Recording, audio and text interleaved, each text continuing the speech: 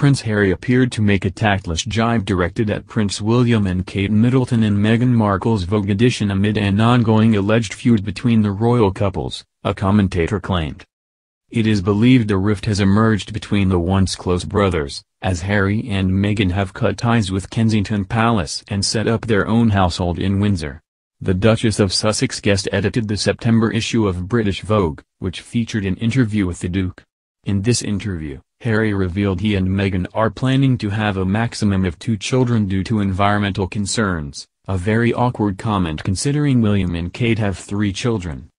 In conversation with primatologist Dr. Jane Goodall, Harry explained that he feels differently about the environment now he has a child. He said, I think, weirdly, because of the people that I've met and the places that I've been fortunate enough to go to, I've always had a connection and love for nature. I view it differently now, without question.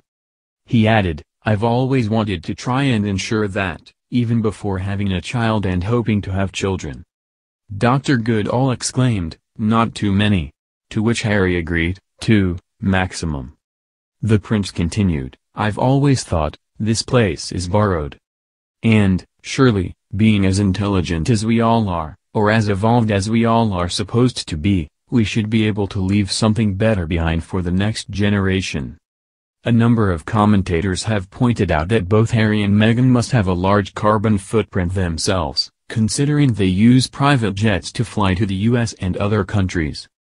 They have also been known to fly between UK cities.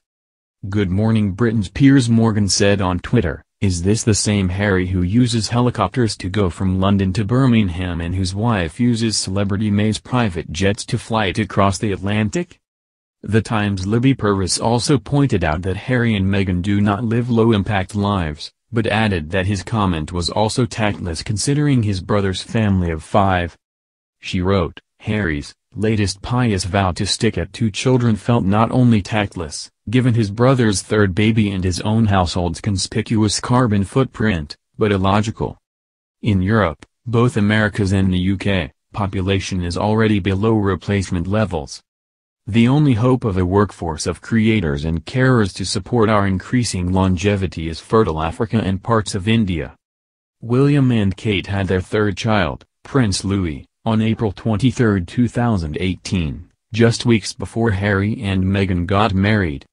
There are also rumors that the Duke and Duchess of Cambridge might be planning a fourth addition to their royal household. Meghan has been criticized for flying to New York for a lavish baby shower in February this year, ahead of the birth of baby Archie.